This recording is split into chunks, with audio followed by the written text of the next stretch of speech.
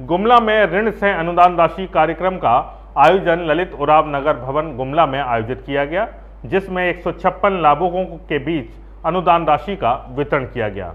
आपको बता दें कि जिला प्रशासन के द्वारा रोज़गार की दिशा में सशक्त और मज़बूत व्यवस्था की रूपरेखा को तैयार किया जा रहा है, जहाँ युवाओं को रोज़गार के क्षेत्र में हर संभव अवसर मिलेगा। वहीं शिक्षित युवा स्वरोजगार करना चाहेंगे, उन्हें आर्थिक सहयोग उपलब्ध भी कराया जाएगा। सरकार यहाँ के युवाओं को पूरा मौका दे रही है ताकि उनकी प्रतिभा और कौशल का जिला तथा राज्य के विकास में बेहतर रूप में इस्तेमाल हो सके। जिला स्तरीय मुख्यमंत्री रोज़गार सृजन योजना के अंतर्गत ऋण से अनुदान वितरण कार्यक्रम को संबोधित करते हुए ये बातें कही गई। वहीं कार्यक्रम में उपस्थित उपायुक्त सुशांत गौरव, उप विकास आयुक्त हेमंत सती, आईडीटीए इंदु गुप्ता, जिला कल्याण पदाधिकारी खुशेंद्र सोनकेसरी, जिला परिवहन पदाधिकारी ने सामूहिक रूप से दीप जलाकर इस कार्यक्रम की शुरुआत की। वहीं मौके पर लाभार्थियों के बीच मुख्यमंत्री रोज़गार वहीं मौके पर लाभार्थियों के बीच मुख्यमंत्री रोज़गार सृजन योजना के अंतर्गत अनुदान आधारित ऋण का स्वीकृति पत्र, ट्रैक्टर तथा स्कॉर्पियो की चाबी भी दी गई। ज्ञात हो कि राज्य में स्वरोजगार को बढ़ावा देने के लिए सरकार ने मुख्यमंत्री रोज़गार सृजन योजना की शुरुआत की है। माइनॉरिटीज और दिव्यांग जितने हमारे भाई बंधुजन हैं, जिनको अपना बिज़नेस चलाना है, जिनके अंदर कुछ इच्छा है कि वो स्वरोजगार करना चाहते हैं, अपने पैरों पर खड़ा होना चाहते हैं, उनको एक बहुत ईजी तरीके से ऋण उपलब्ध कराना सब्सिडाइज का उनका रेट रहता है। प्रॉमिस उनको और भी किस्त देते जाना है हम लोगों को। और अन्य सभी विभागों से कोऑर्डिनेशन देते हुए उनको और बेहतर करने के लिए जो है, ये सरकार कटिबद्ध है। अब जैसे कहा जाए तो अलग अलग तरह की गाड़ियों का जो है वितरण हुआ है। चाहे वो स्कॉर्पियो हो जिससे अपना बिज़नेस कर सकते हैं चाहे वो ट्रैक्टर हो जिससे एग्रीकल्चर के बिज़नेस में वो अच्छा कर सकते हैं। तो उसके रजिस्ट्रेशन के लिए उसके मदद के लिए ट्रांसपोर्ट ऑफ़िस से जो मदद चाहिए वो उनको मिलेगा। बैंक से कोई अन्य सहायता चाहिए वो मिलेगा या कोई अन्य।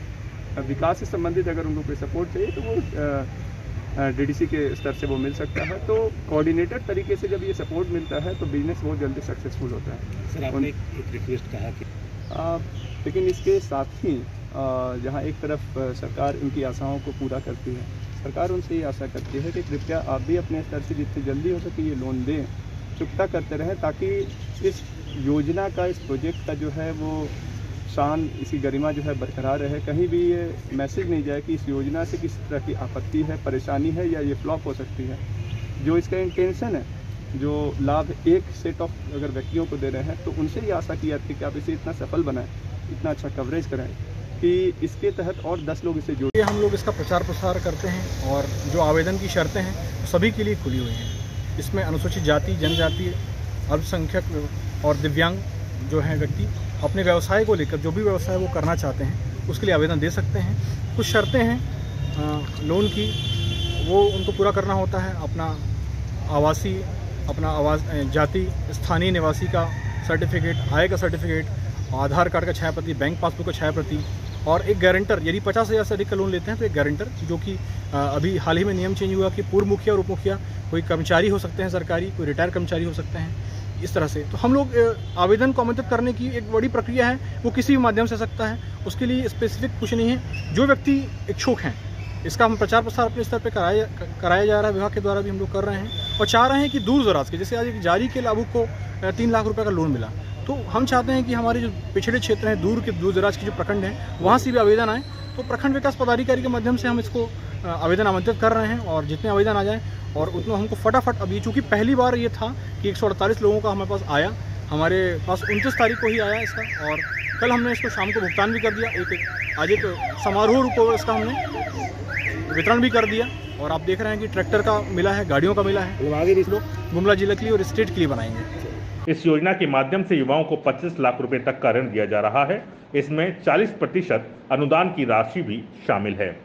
वहीं एक लाभुकों के विरुद्ध सैद्धांतिक स्वीकृति प्राप्त कुल एक लाभुकों में जिनमें अनुसूचित जनजाति के 100, अनुसूचित जाति के पाँच पिछड़ी जाति के 46, अल्पसंख्यक जाति के तीन अल्पसंख्यकों के तीन दिव्यांग दो लाभुकों को दिया गया, जबकि आवंटन की राशि दो करोड़ सड़सठ लाख पचास हज़ार आठ सौ तिरसठ के विरुद्ध प्रथम किस्त के रूप में सात करोड़ उनतालीस लाख दो हज़ार तीन की राशि का भुगतान लाभुकों के बैंक खाते में करने की बात कही गई है। के विरुद्ध प्रथम किस्त के रूप में तिहत्तर लाख बानवे हज़ार तीन की राशि का भुगतान लाभुकों के बैंक के खाते में करने की बात कही गई है।